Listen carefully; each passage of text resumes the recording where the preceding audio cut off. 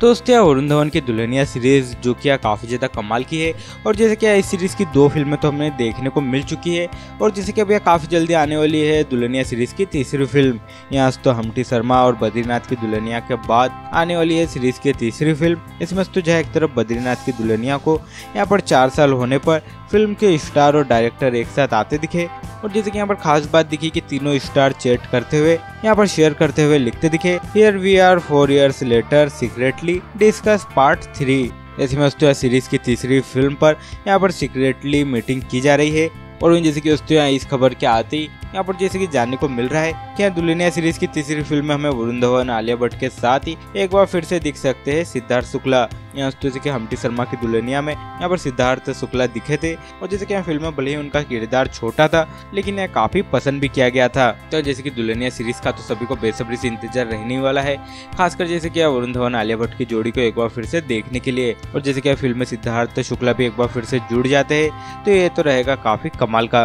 इसमें तो क्या आप भी एक्साइटेड है दुल्हनिया सीरीज़ की तीसरी फ़िल्म के लिए? साथ ही और बॉलीवुड से जुड़ी लेटेस्ट अपडेट के लिए चैनल को सब्सक्राइब करें लक्ष्य कमेंट ज़रूर करें।